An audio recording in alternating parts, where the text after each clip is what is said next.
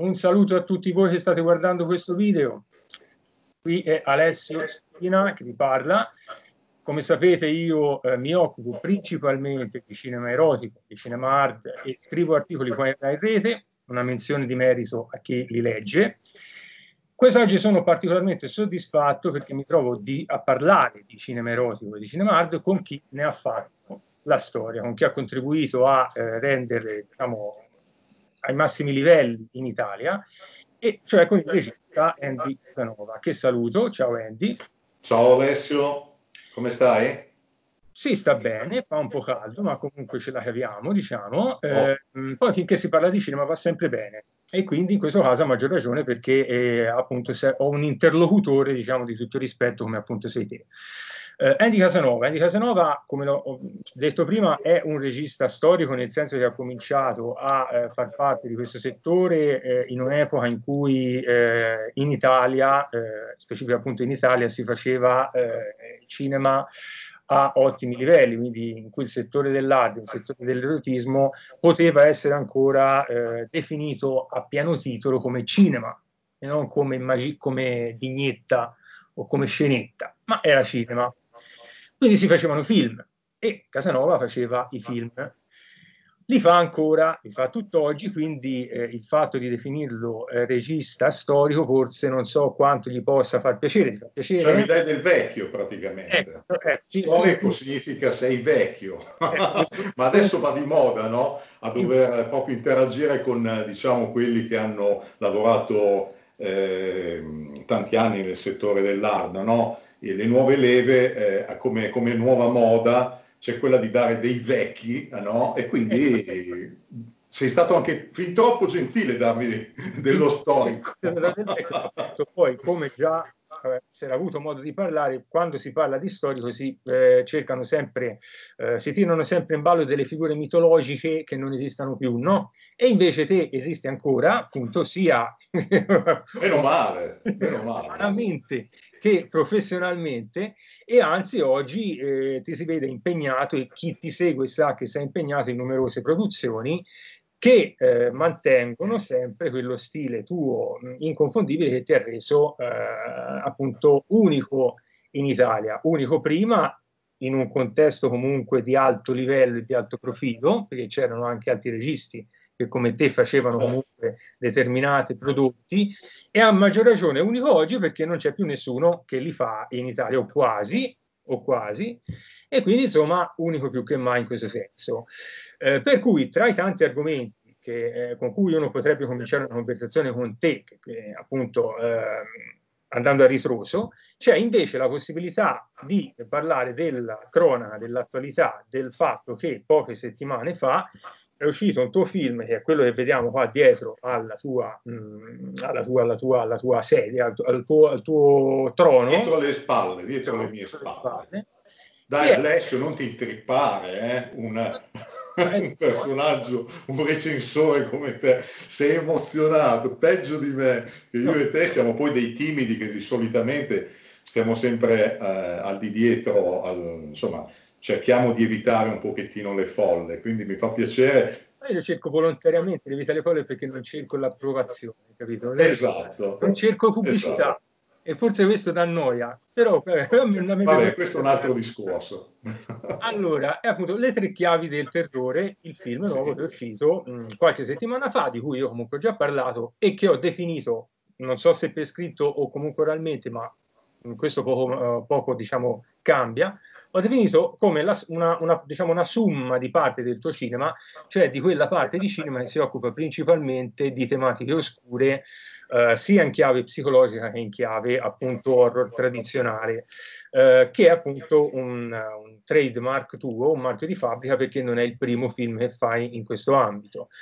Allora, eh, la prima cosa quindi che ti chiedo a proposito di questo film, che è stato uno sforzo produttivo importante eh, per più versi, è un po' come è nato, quindi il progetto come è venuto fuori, co- cosa riguarda e quindi mh, facciamogli un po' il DNA di questo film, descriviamo un po' cos'è. Ma eh, guarda, eh, secondo me bisognerebbe partire un po' a ritroso e spiegare magari alle nuove generazioni, perché io ho saltato due, due generazioni. Beh, ehm, mi sono catapultato improvvisamente in un mondo, negli ultimi anni, negli ultimi 5-6 anni, eh, in, in, un mondo completamente diverso dove le persone magari si interrogano chi sia questo regista Andy Casanova, perché il, il, mercato si è saturato anche di altri prodotti alternativi o il sex, scene gonzo, eh, anche molto estreme. E, è come se ci fosse stato appunto un salto quantico quasi, no? Eh, io nasco, eh, io ho iniziato 25 anni fa, tu lo sai all'incirca, no? quasi per gioco. Eh, ero, facevo il cuoco e improvvisamente questa grande passione ha fatto in modo che io incontrassi un produttore insomma, molto, molto famoso all'epoca, ma comunque rimane sempre come un mostro sacro del panorama dell'hard, Silvio Bandinelli il quale mi propose una, un lavoro, una collaborazione con lui ed iniziammo subito questo progetto, un progetto che andava al di là della singola scena girata. Io avevo intenzione di non mettermi in concorrenza con eh, tutti gli altri registi che in quel momento lavoravano, ma di, eh, di fare uno sforzo superiore, quello di creare delle eh, piccole sceneggiature e dare corpo appunto a degli episodi con trama. È stata sicuramente una scelta vincente perché eh, mi sono ritagliato una fetta di pubblico notevole, anche se molto contestato all'epoca perché le mie tematiche erano abbastanza forti, andavano a esplorare insomma, dei, dei, dei mondi eh, molto, abbastanza borderline, insomma, no? il genere tabù, il genere un po' violento, ma eh, non, volevo la, non, volevo mettermi in concorrenza. Eh, sapevo che se io avessi fatto scenette amatoriali semplici sarei stato sopraffatto da chi magari questi film li faceva anche meglio di me per potenzialità, magari li girava eh, all'est con location spettacolari, con attori più performanti. Noi invece in Italia purtroppo eh, sì, all'epoca forse, ecco, fino a dieci anni fa avevamo attori veramente validi. Oggigiorno, insomma, le prestazioni sono eh, medio basse, scadenti. Eh, mi dispiace dirlo eh, per quelli con cui sto collaborando, ma questa purtroppo è la realtà, un po' forse anche causa del mercato. Eh, essendoci meno mercato, insomma, circolano meno soldi in questo mondo e quindi eh, ci sono meno attori che si eh, mettono in gioco e quindi la selezione è veramente scarsa e, eh, e quindi anche le prestazioni. Comunque, indipendentemente da questo, avevo fatto quella scelta, cioè di fare film con trama. Chiaramente esplorando tanti, tanti mondi, mm, uno in particolare mi eh, stimolava, che era quello appunto dei film eh, dark, un pochettino cupi, eh, quindi mm, i thriller, gli horror facevano parte anche un po' della mia cultura a livello proprio di consumatore. Io sempre, anche da ragazzino, mi piaceva vedere questi film. E come allora non riproporli in versione hard?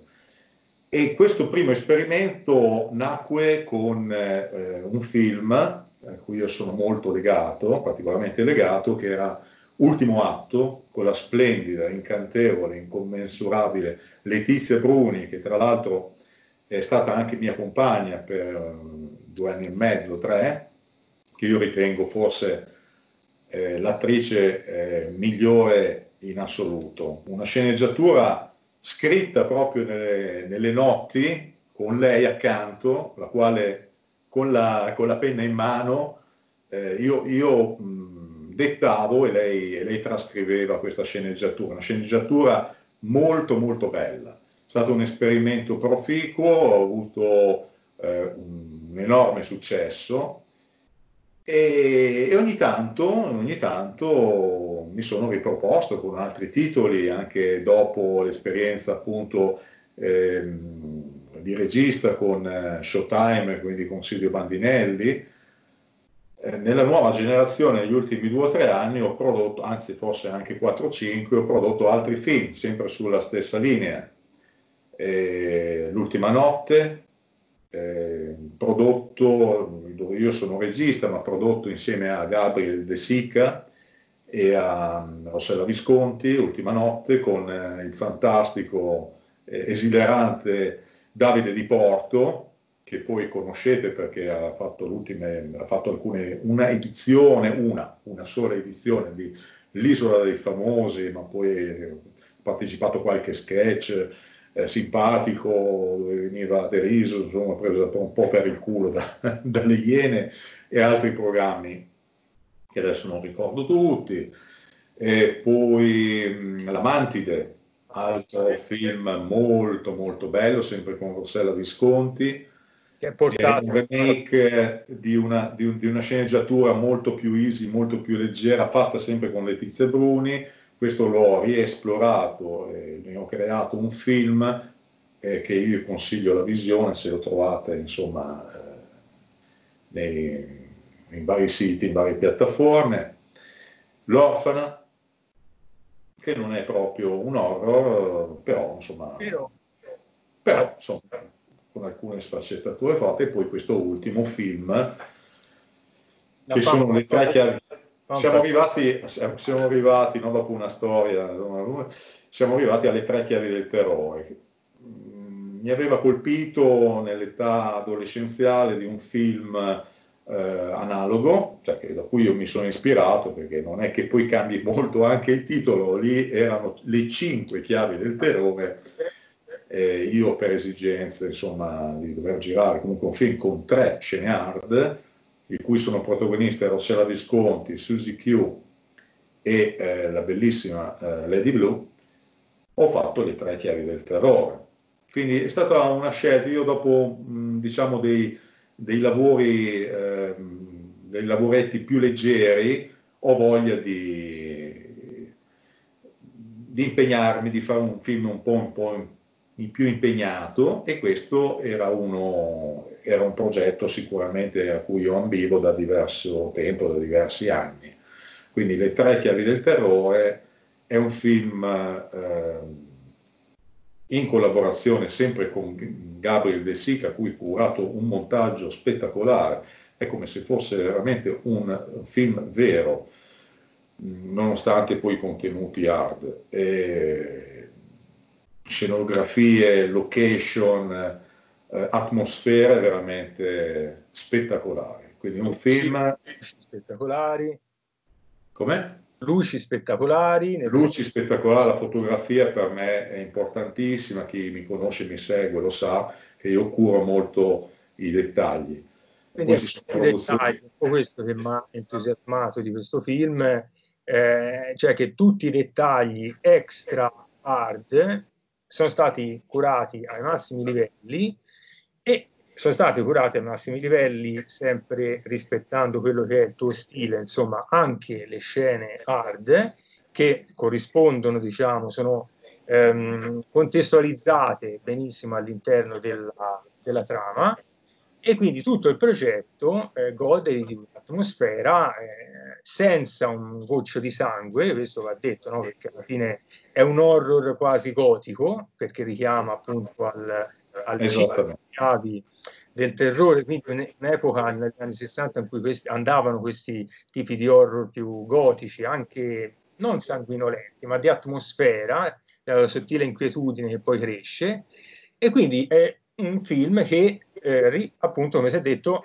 ehm, ti fa ritornare diciamo, in un sentiero che te ben conosci e quindi ehm, l'hai fatto con autorevolezza, insomma, non hai dovuto, eh, non hai dovuto, non hai fatto niente di nuovo, ma allo stesso tempo il prodotto si sente. Io che... ti ringrazio, però ecco, ci tengo a citare sempre che non avrei potuto realizzare un prodotto a questi livelli senza l'aiuto magistrale di Gabriel De Sica, il quale mi ha supportato non solo per quanto riguarda il montaggio, ma anche durante le riprese. Ci alternavamo l'uno all'altro, a volte ero, ero stanco io e quindi eh, utilizzava la telecamera lui, a volte era distrutto lui e quindi mi passava la telecamera a me. Abbiamo, ci siamo insomma intervallati, ci siamo aiutati l'uno con l'altro, ma eh, uno non è migliore dell'altro. Anche De Sica è veramente un, una persona eh, per me molto importante che ho scoperto negli ultimi anni e con cui eh, c'è questa collaborazione che appunto ormai dura da parecchio e quindi un grazie speciale a lui e a, su, a tutto il suo operato. Ecco, senza di lui questo film non avrebbe raggiunto questi, questi traguardi, questa, questa bellezza estetica.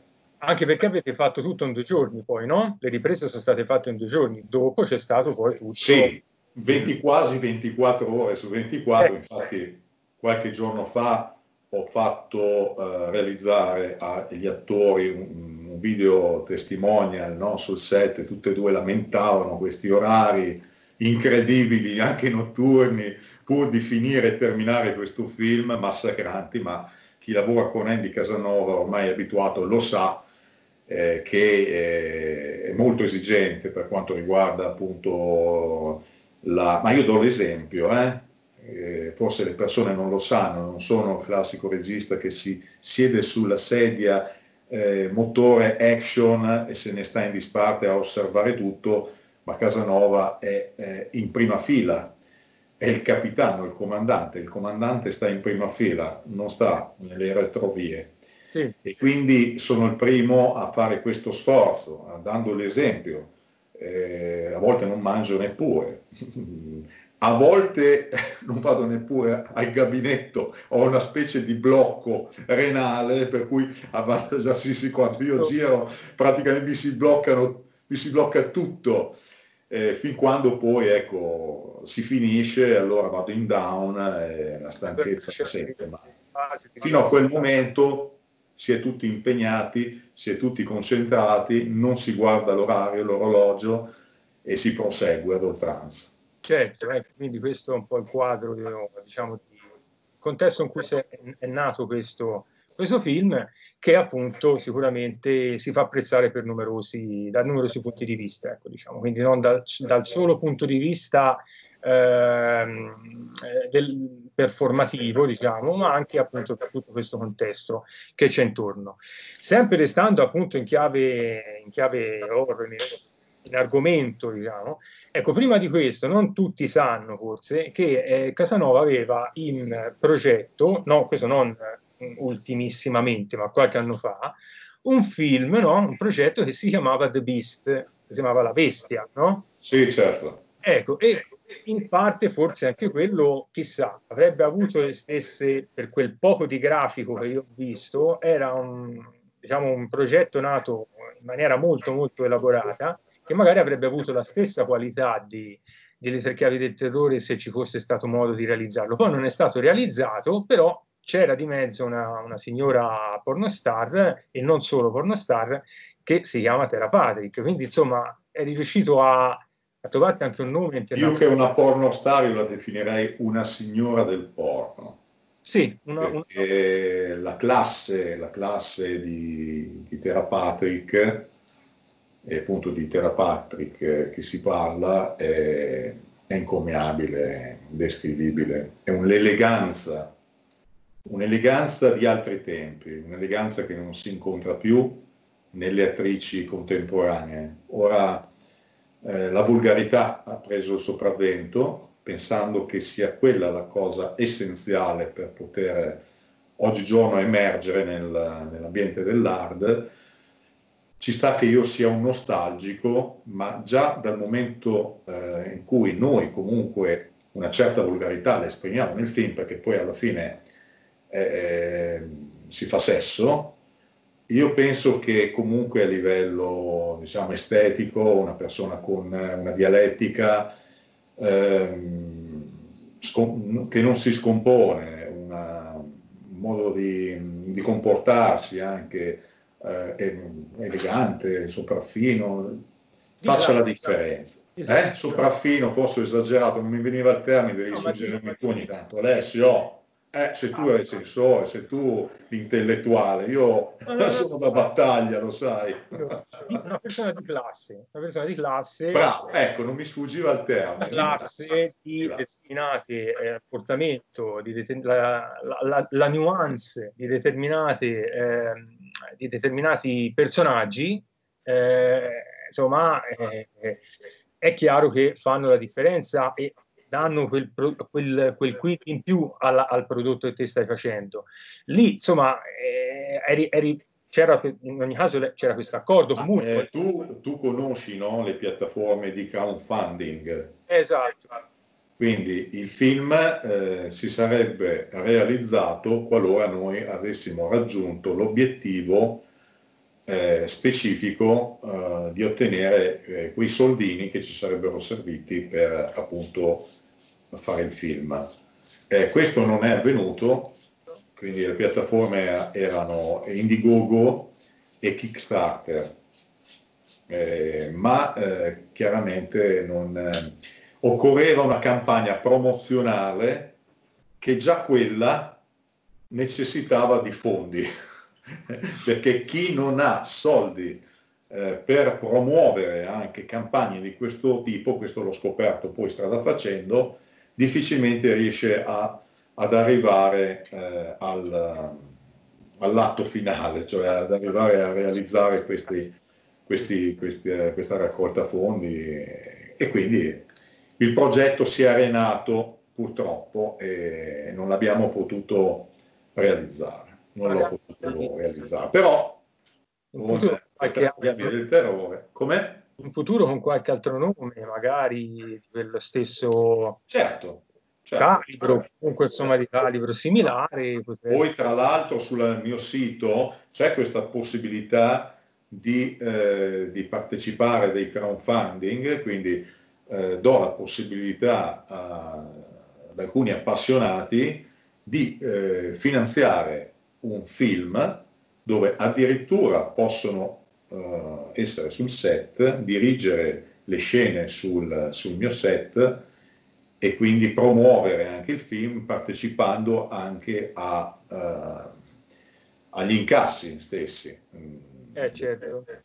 del film realizzato. Insomma, sono iniziative sperimentali ma che comunque sono, sono interessanti.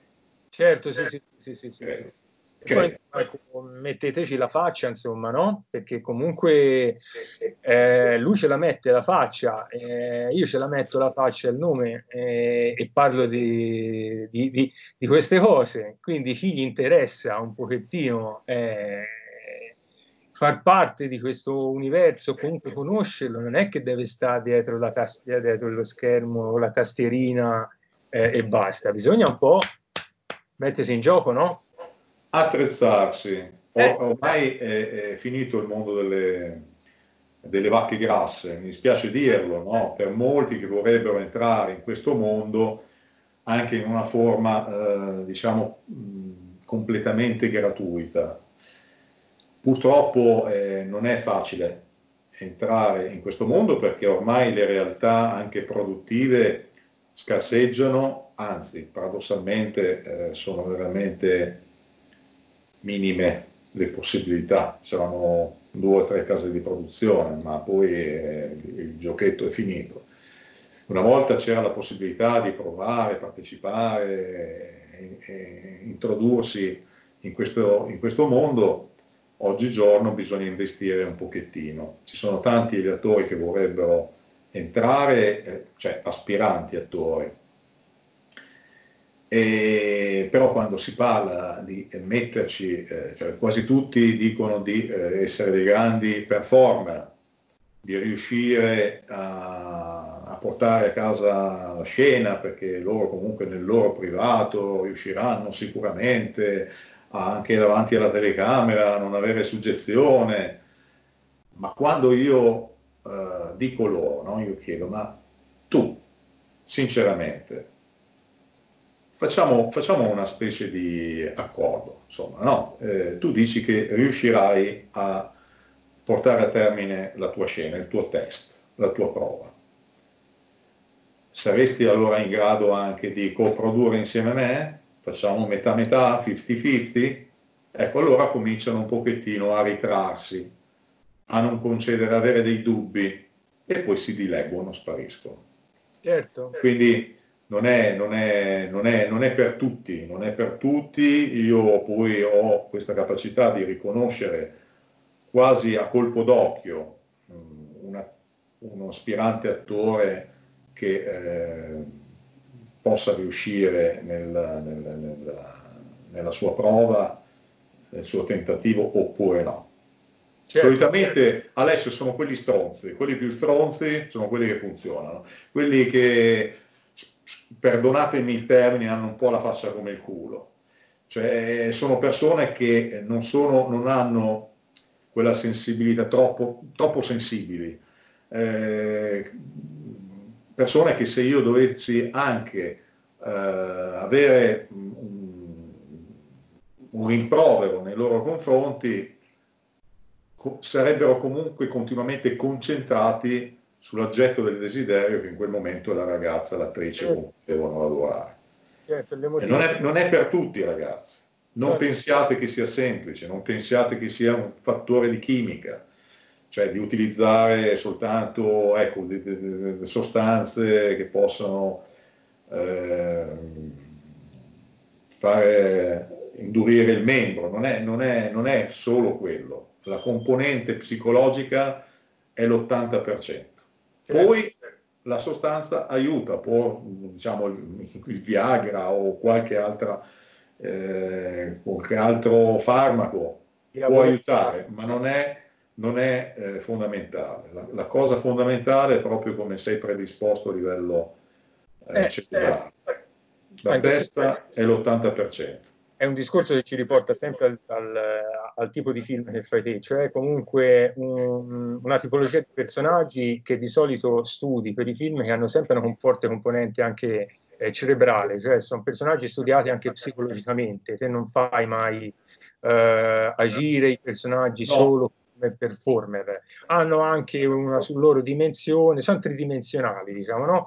Hanno anche la loro dimensione psicologica che te tratteggi nella sceneggiatura e li fai diventare un po' dei personaggi credibili anche in quanto eh, persone, no? Penso, come dicevo anche prima, alla Fatale perché è uno dei film eh, preferiti, dove c'è sia la, la Dark Lady che il personaggio maschile che sono dotati di una forte componente psicologica e che quindi ecco questo che rende questo tipo di, di, di, di prodotti che hai sempre fatto un, un, dei prodotti assimilabili proprio a dei film tradizionali, quanto a studio psicologico dei personaggi, insomma, potrebbero essere anche dei film erotici, volendo, insomma, quindi come si facevano anche negli anni 90, ehm, dei film insomma, che hanno una validità oggettiva, al, al di là poi della, de, del bonus hard che ci viene inserito dentro. Ecco, in questo senso, quindi, film con trama, film con, eh, con, con dei personaggi um, validi anche nelle scene di raccordo, in quelle che comunemente di solito vengono chiamate scene di raccordo e che invece te rendi come scene um, valide dal punto di vista drammatico, quindi scene che uh, com- comportano una certa consecuzio diciamo, delle, de- degli eventi. Ecco, questo tipo di cinema qua eh, ti rende paradossalmente oggi come un autore di nicchia rispetto alla tendenza generale del panorama dell'arte. Ecco, e questo è un po' perché io lo chiamo paradosso. Lo chiamo paradosso perché, come già ho avuto modo di dirti, se eh, io eh, vent'anni fa eh, o qualcosa di più fossi andato in una eh, nell'angolo a luci rosse di una videoteca, avrei trovato per primi entrando i film tuoi o i film eh, di altri registi che come te avevano questa attitudine, diciamo, narrativa e questi eh, poi eh, questa velleità di inserire sempre scene comunque in un contesto e dopo andando sempre oltre, passando oltre, avrei trovato dei film più estremi. Oggi invece un po' perché internet ti fornisce tutto nello schermo, un po' perché evidentemente i tempi sono cambiati, le scene più estreme sono diventate banali.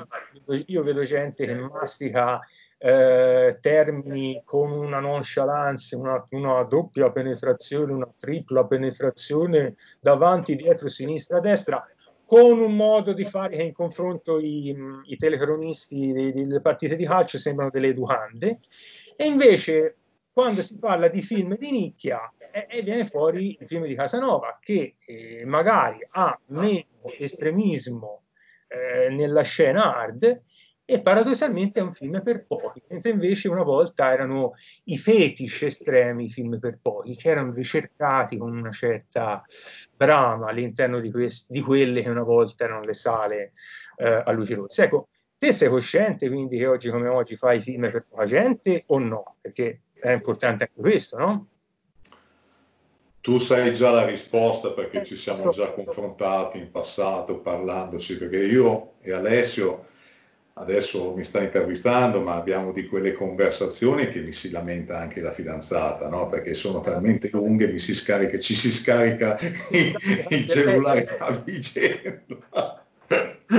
Comunque, indipendentemente da questo, eh, no, io non guardo quello, quello, che il mercato propone, non, mai, non ho mai seguito il mercato, io faccio i film perché piacciono a me, indipendentemente da quello che maggiormente va o non va.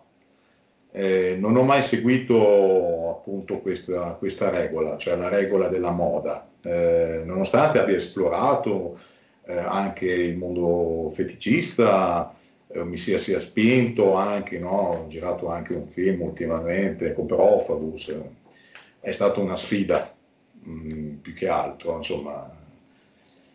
Ma mh, mm, io faccio film per me stesso, io devo godere nel, nel fare il regista, di sentirmi regista, di fare un prodotto di qualità superiore, almeno per quanto mi riguarda. Poi magari il pubblico dice oh, a me non piacciono i tuoi film, benissimo, perfetto il mondo è vario, le produzioni sono tante, sono infinite ed è giusto che ognuno si accontenti come, come meglio crede. Io infatti non critico assolutamente chi fa scelte di, eh, anche di estremo esasperato, eh, fin quando eh, è tutto nel, nel lecito, no? nel consentito. E, è giusto che ci siano comunque un po' tutti i generi, no? Ognuno sceglie quel che meglio crede per sé. Io continuerò sempre a fare e a realizzare film con trama per quelle persone che sono un po' più cerebrali, eh, quindi più, mh, per l'eccitazione psicologica, per l'erotismo. Sì. Poi magari farò bene, farò male, ma a me poco importa. Io continuo per la mia strada. Eh, e ringrazio tutti quelli che eh, insomma, mi hanno supportato in tutti questi anni, quindi tutti gli utenti che sono affezionati, appassionati ai miei film. Siamo sulla stessa linea d'onda, chiaramente non si può piacere a tutti. Assolutamente, ci altro. Comunque questo è un dato di fatto, un paradosso del, del mondo moderno che l'estremo è diventato, è diventato banale e invece il, il, il, norma, il normale, diciamo il castigato, il più il più, diciamo così, in, implicito, eh, è diventato di nicchia perché appunto la gente evidentemente non ha più... Il mondo cambia ed è bene così. Certo, bene anche così. No, no, certo, ma si può essere adesso sempre anche solo ed esclusivamente dei nostalgici come siamo più o meno io e te, no? a volte bisogna abbracciare anche il nuovo sì, sì, sì, sì, nostalgici ma non conservatori, perché di fatto io esatto. non, sono un conservatore, nostalgico però sì, perché oggi vedo che manca della qualità, in di solito non posso che constatare questa cosa, però conservatore no. Detto questo, ecco, il punto è, ma già risposto, qual è quindi lo spettatore tipico, quel, lo spettatore diciamo ideale che te vedi come eh, la persona che appena esce il film di Andy Casanova ecco, è motivata a eh, guardarlo, a vederlo e eventualmente apprezzarlo. Quindi il tuo spettatore mh, fedele, mh, diciamo storicamente, oppure quello che oggi può approcciarsi verso le tue produzioni con più eh, trasporto rispetto a, ad altri. Ecco, è un po' quello che mi hai detto te ora, forse c'è la persona un pochettino nostalgica, forse no il giovanotto, quello che ha, insomma, eh, che poi vede tutti questi buchi ripieni. Eh, certo. Ecco, però gli piace. Vanno di moda le prestazioni, no? Eh, triplo salto mortale con avvitamento. Ora eh, va di moda questo, insomma. Mm, mm che ti devo dire adesso? Eh, cioè, eh. Ho provato, ho provato anch'io, guarda, ho provato, ho provato. ad abbracciare per un breve periodo uh, prodotti di questo genere, no? mi sono associato, adesso non, non, voglio fare nomi, però ho provato anche questa tipologia di esperienza, mi è stata data la possibilità di, eh, ringrazio anche chi me l'ha data, di potermi cimentare in prodotti di questo genere pagato come regista.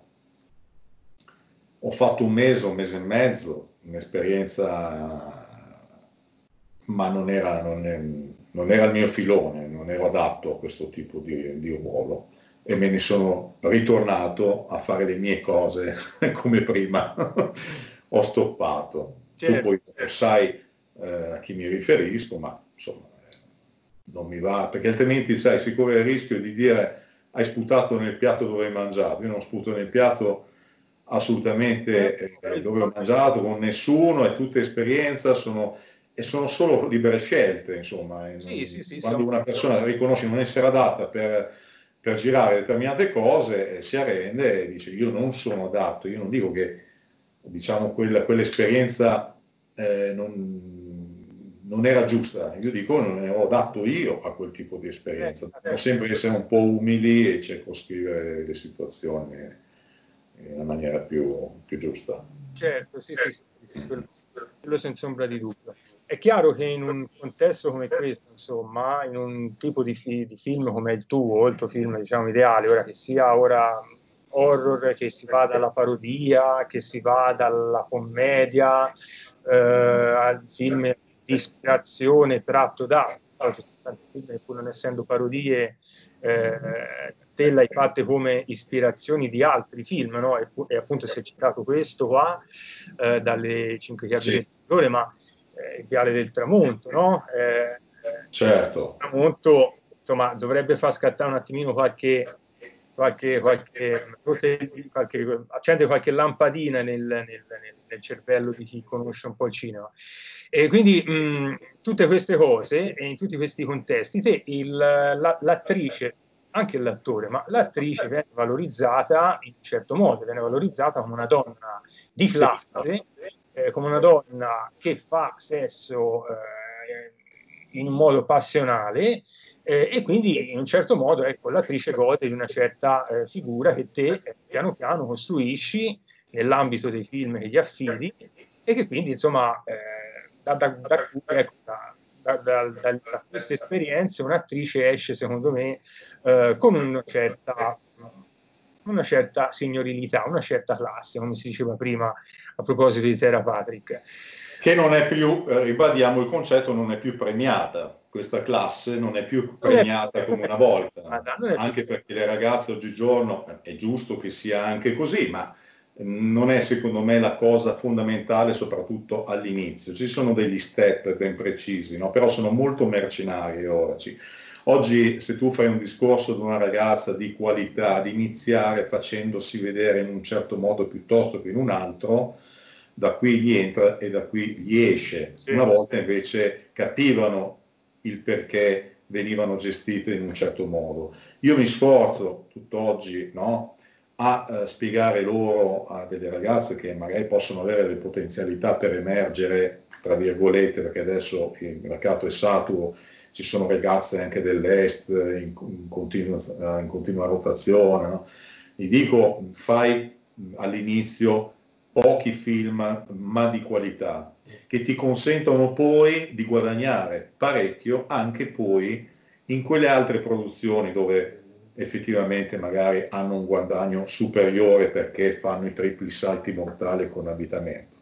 Perché anche queste case di produzione, una volta viste queste attrici il loro percorso di qualità hanno una certa suggezione che consente loro di fargli delle proposte superiori, perché sanno che sono state gestite molto probabilmente in una maniera migliore, superiore, hanno un valore aggiunto. Quindi se fossero invece, eh, le, le, trovassero da scene eh, all sex di bassa caratura, eh, o di estremo mm, non farebbero delle proposte eh, a rialzo, ma forse sarebbero soltanto a ribasso. Depre- gli darebbero già un deprezzamento organico. Ecco, io vi dico, ragazze, facciamo pochi film, facciamo due, tre, datemi due o tre film. Io dico sempre così alle ragazze, quelle, diciamo, di un certo, quelle che secondo me potrebbero avere un certo successo. Datemi due o tre film, non ne chiedo di più. Facciamo due o tre film fatti di qualità, dopodiché andate con chi volete, però ad un prezzo chiaramente superiore. E anche io posso, in un certo qual senso, darvi questi, questi contatti poi utili, no? Però la partire con le basi buone, secondo me, sono, sono alla base. Attrici, attrici, eh, tu volevi chiedermi anche le attrici con cui io mi sono trovato meglio nel passato. Nel... Eh, sei riuscito a valorizzare come te, eh, ti proponi, quindi la, dove, diciamo, l'esperimento dove è che ha avuto successo, perché chiaramente... Gli, esper- gli esperimenti che hanno avuto maggiormente successo sono stati, come dicevo prima all'inizio dell'intervista, con sicuramente Letizia Bruni, eh, che poi è diventata anche la mia compagna, ma quando la conobbi era fidanzata con, una, con un'altra persona che me la fece anche conoscere, e quindi e il discorso non era sospetto, cioè non è che ha seguito il mio diciamo, percorso perché era mia fidanzata, lo ha seguito perché era una persona comunque molto intelligente e di spessore. Tant'è vero che anche quando si è poi ritirata dal porno, lo ha fatto con la stessa intelligenza ed ha continuato comunque poi a lavorare anche in un settore completamente normale e ottenendo sempre successi, anche lavorativamente parlando, anche in un lavoro diverso, normale. Quando una persona è intelligente, una persona eh, ha un, diciamo, un quantum superiore e lo, lo esprime in qualsiasi cosa lei faccia nella vita. Quindi Letizia Bruni sicuramente a livello di recitazione per me sempre, sarà sempre la, la numero uno. Eh, poteva fare anche, io gli ho sempre detto, ma poteva fare cinema anche normale, chiaramente non è facile entrare in quei circuiti, soprattutto poi da chi proviene da questo settore. Um, un'altra a cui sono particolarmente legato e che ha avuto comunque molto successo, non solo poi in Italia dopo aver girato i miei film, ma anche all'estero, è stata Evita Pozzi, a cui ho dato anche il, il nome artistico. E il percorso poi lo, lo, conoscete tutti, insomma, ha lavorato con, anche con case di produzione americane, fra le più importanti, e anche lei una persona che ha saputo dare molto all'hard, ma in maniera intelligente, in maniera intelligente, non volgare, di classe. L'ultima che mi sento di citare diciamo nel passato recente, il passato recente, nonostante le difficoltà iniziali sue linguistiche, ma che poi si sono risolte, è stata anche Rossella Visconti.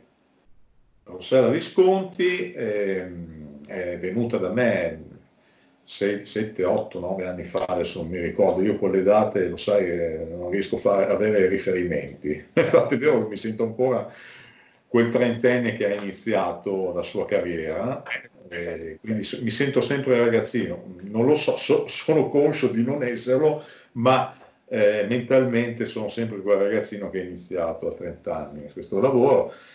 È una ragazza molto, molto, molto intelligente, una ragazza che eh, si è sempre messa alla prova, ha cercato sempre di superarsi, che è rimasta un po' delusa da questo, da questo settore perché lei molto ha dato ma eh, che oggi riconosce a volte di aver ottenuto un po' meno, ma purtroppo perché comunque i tempi sono cambiati. Avesse iniziato eh, ecco, vent'anni fa probabilmente eh, il suo percorso sarebbe stato diverso. Comunque ha ottenuto tanti successi perché il percorso l'ha fatto tutto. Ha iniziato con me, abbiamo fatto dei bellissimi film eh, insieme, ha lavorato anche con eh, il maestro, perché a lui piace insomma farsi chiamare così a me mi dà fastidio che farmi chiamare maestro, ma mica un maestro, c'ho l'orticaria. mi comincio a prudere quando mi danno del maestro, anzi vedi lo sto già facendo. De... Eh? C'è qualcuno che ti chiama online, no, ah, maestro. il maestro, ecco, io, io, non mi reputo un maestro, io ho un format, il mio modo di girare, mi sono creato, diciamo, da solo, o, sbagliando, ho imparato la tecnica eh, chiaramente guardando, eh, comunque andando sui set, guardando un pochettino le produzioni di Silvio Bandinelli, eh, scoppiazzando qua là, ascoltando i suggerimenti, guardando i film appunto del maestro Mario Salieri. Stavo dicendo che Rossella Visconti ha lavorato anche con il maestro Mario Salieri, quindi insomma ha, lavorato con tantissime case di produzione anche estere, Praga, Budapest, ha lavorato per produzioni americane, quindi il suo percorso lo ha completato. Una persona che comunque non vive solo appunto con, il, con l'hard, col, col porno, ma si mette eh, in continuazione in, di, suggeriscimi tu, in discussione. discussione. Eh, mi, eh, ma a volte non mi vengono i termini, Alessio, aiutami quando mi vedi in difficoltà. Si mette alla prova. A volte non mi vengono più le parole. Ma certo, certo. E quindi insomma eh, si dedica anche ad altre attività che non so se faccio bene a dirle o non dirle, quindi a scanso dei equivoci non le dirò, ma comunque eh, fa anche altri, altri, altri lavori oltre al porno. Quindi. Complimenti, un applauso, eh, tanto so che poi la vedrà questa intervista Rossella Visconti. Ma senz'altro. Molto molto brava. E certo. poi le altre sono, cioè, non voglio tralasciare nessun altro perché no, no, però... il successo, scusate anche il successo, eh, devo gratificare tutte quelle che hanno collaborato e, e realizzato insomma i miei film, no? che sono all'interno delle mie trame, quindi io ringrazio tutte indistintamente. Sì, sì, sì, sì, sì, sì. Ma Ho citato quelle che mi hanno dato un pochettino più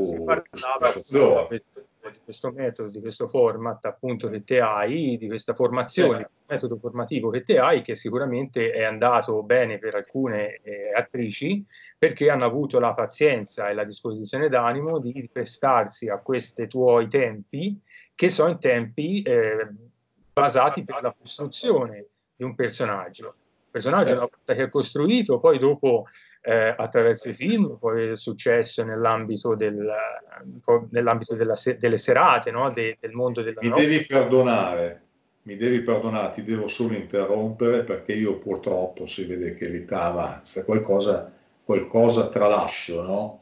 Mm. Eh, un'altra, uh, un'altra, affezionata è eh, Lara De Santis. Certo.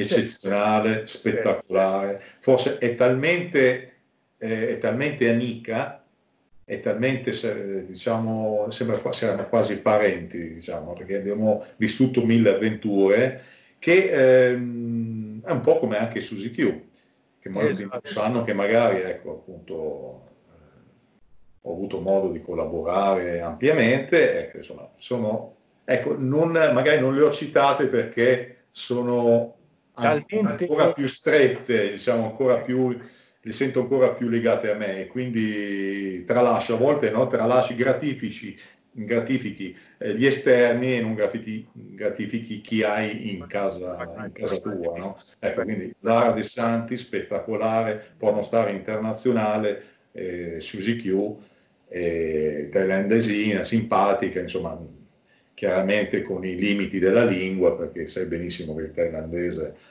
eh, non è, non è per una thailandese non è facile comprendere e parlare in thailandese, quindi con tutti i limiti, però eh, ha venduto, ha fatto vendere molti prodotti, insomma, quindi molto, molto bravini. Va bene, scusami questa parentesi, andiamo no, avanti. Giustamente, perché in ogni caso appunto si ricollegava sempre al discorso che facevo prima, quindi dei tempi che oggi inevitabilmente vengono a, a mancare perché appunto c'è questa fretta, diciamo, di, si bruciano le tappe e non si crea poi il personaggio, quindi alla fine il personaggio va a eh, finire prima ancora di essere stato creato, insomma, e il personaggio viene creato da qualcuno, da un'intelligenza, in questo caso può essere un regista, può essere un manager, può essere qualsiasi qualsiasi persona, che oggi come oggi effettivamente se ne vedono pochi, insomma, sia di persone capaci di creare questi personaggi, sia di personaggi che vogliono farsi creare, perché c'è un po' questa corsa, diciamo, alla questa febbre dell'oro, insomma. Questo per quanto riguarda le eh, pornostar o comunque le, le, le, ragazze, diciamo. Per quanto riguarda i ragazzi, prima ti hai anticipato un po' quale può essere un po' la, il problema, no? Eh, e, e quindi eh, cosa, cosa, si può dire su, su, sui maschi? Ma, eh, di, di, di, di... Disastro. Ecco, eh, dire... Adesso è un disastro, assoluto. Stai godendo tu, eh? c'è un'espressione quasi beffarda mentre sto dicendo disastro. No, vabbè. Beh, sai, io vengo da, io da tempi dove c'erano Omar Gananti, Francesco Malcolm, Fausto Moreno, e, e, insomma, attori, Marco Nero, Leonardo Conti, che con, cui sto collaborando ultimamente, è della vecchia guardia, ma che si sta riproponendo, poi sembra quasi intatto, immacolato, sembra che eh, cioè non sia mai passato il tempo, gli anni per lui, eh?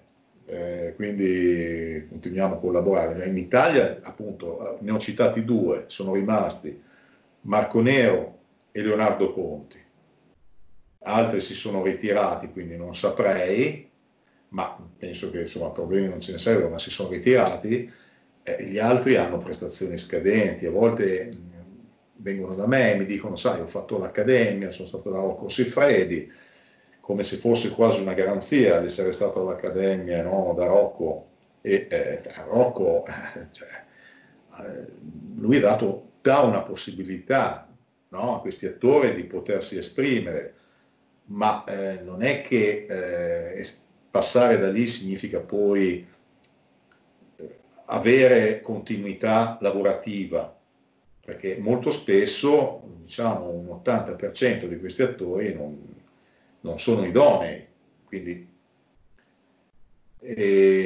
quindi diciamo che ho la fortuna che facendo film con trama riesco a prendere il punto debole diciamo, di questi attori e farli recitare nei miei film. E se anche le prestazioni non sono accesse, a me stanno bene comunque, perché l'eccitazione fondamentalmente eh, a cui io vado incontro è un'eccitazione psicologica. Quindi avendo creato poi la situazione, anche se poi non ci sono quegli effetti speciali che noi conosciamo bene, di cui abbiamo parlato prima, il film comunque piace al mio pubblico. Piace indipendentemente da alcuni defiance che questi attori possono avere, ma possono lavorare solo con me, perché dopo aver fatto tutto il giro delle varie, il giro delle quattro chiese, io chiamo, no? aver provato un po' tutte le prestazioni, le prestazioni sono sempre quelle, perché loro mettono sempre a volte sottotitoli, ah ma sai perché io quel giorno lì ero particolarmente stressato? Eh no, perché sai lavorare con te Andy non è facile Ah, questo sicuramente non è facile lavorare con Andy Casanova, ma un attore veramente performante e quelli che ho citato sono quei due, sono Marco Nero e Leonardo Conti, come quegli altri del passato non avevano problemi di girare con me, andavano dritto per la loro strada, eh, il caldo, il, questo invece il caldo, il freddo, la ragazza è antipatica, ma ragazzi, ma i sottotitoli nei film non ci sono, io non posso giustificare delle prestazioni scadenti no? con dei sottotitoli. Se sono scadenti, sono scadenti, ammettilo e basta. Ti chiamo lo stesso, ti do un'altra possibilità, non è un problema. Ma non trovate giustificazioni che mi fanno ancora più incazzare, perché quando c'è il sottotitolo io mi incazzo, no? e lo, glielo ribadisco, mi incazzo per modo di dire, simbolicamente, non è che mi arrabbio magari quando ripeto le cose, soprattutto nella recitazione, ecco, sono molto più esigente lì rispetto magari alle performance, perché poi le posizioni sono sempre quelle 4 o 5, non cambiano mai, sono ripetitive. Che volevi sapere d'altro? No, Voglio dare dei consigli, ragazzi. Se no, non siete adatti a questo settore, state una casina vostra, non venitemi a rompere le palle in continuazione. Io voglio fare il film porno, un sogno della mia vita. È il sogno di ogni uomo. Sapete quante, quante mail mi arrivano quotidianamente? Decine e decine. di aspiranti attori che vogliono fare gli attori. Maestro, Mettetevi in gioco, volete partecipare, finanziate voi la scena, ma perché io devo andare a pagare un'attrice? Io dico a questi attori, no? Tu provi, no? Tu vieni qui, vieni da me e vuoi provare. Ma provare cosa significa? Io un'attrice la devo chiamare, lei vuole i soldi, io la devo pagare, devo pagare la location, il mio tempo, no? Io ci metto ore e ore per girare, per, per creare una situazione lavorativa, no? Poi dopo, se tu non funzioni, cosa faccio io? L'attrice la devo pagare comunque, la location idem, butto via i soldi? No, investi tu, tu dici di essere performante, continuano a ripetermi che loro non hanno dei faian, non avranno dei faian. Credimi Andy, non ci sono problemi, io vado anche nei club privé, come se quello potesse garantire le loro prestazioni davanti a una telecamera. Ragazzi, è diverso. È diverso girare davanti a una telecamera, è diverso quando la situazione te la crea il regista e non te la crei tu. Cercate di capire questa cosa. E poi dopo, eh, mi, ma sai, mi, eh, mi, chiedono i soldi. Eh, ho capito, mi chiedono i soldi, ma eh, eh, eh tu crei dei danni, se tu vai su un set e non funzioni, cosa hai fatto? Hai creato un danno sì, sì, sì. Eh, quindi, cioè, volete mettermi in gioco? Finanziate una scena, andate da un regista, non dico venire da me, assolutamente. Provate anche altre strade, ci sono altre produzioncine, anche minori, eh, produzioni easy, no? Andate e, e, e, vi mettete in gioco. Dice, ragazzi, eh, so, fate un discorso del tipo, non so, eh, eh, io finanzio la scena, se va bene, mi, mi ridà i soldi. Quindi sono contenti tutti, contento il regista, perché se è andata bene la scena ti ridà anche volentieri indietro i soldi che tu ci hai messo. Se non è andata bene la scena, chiaramente è stato un investimento sulla tua, eh, ipotetico, sul tuo ipotetico sogno che non si è realizzato, ma almeno nessuno ci ha perso nulla, né il regista né l'attrice. Chiaro? Sì. Okay, certo. Perfetto. Quindi ragazzi, pensateci su molto bene, non è un lavoro semplice, lavoro, non è una passione semplice, perché non è un lavoro. Una volta forse era un lavoro, adesso è una passione, un hobby, vedetelo come quello, perché poi grandi margini di, di, di guadagno non ce ne sono, in Italia soprattutto, all'estero può darsi, ma è difficile entrare in quelle produzioni, quindi uno su 100, uno su 1000 ce la fa ad arrivare a realizzare eh, il sogno che questo eh, tipo di attività possa diventare un lavoro, ma altrimenti rimane solo un hobby. Oh, sai che c'è gente, c'è gente, Alessio scusami se ti interrompo, eh, che eh, mi, a volte mi contatta e mi dice guarda sono rimasto senza lavoro quindi pensavo di venire da te e fare porno. No, ragazzo, trovati qualche altra cosa, ma non venire di certo a fare porno pensando di, di, di avere alti guadagni perché non è, non è così. Ecco,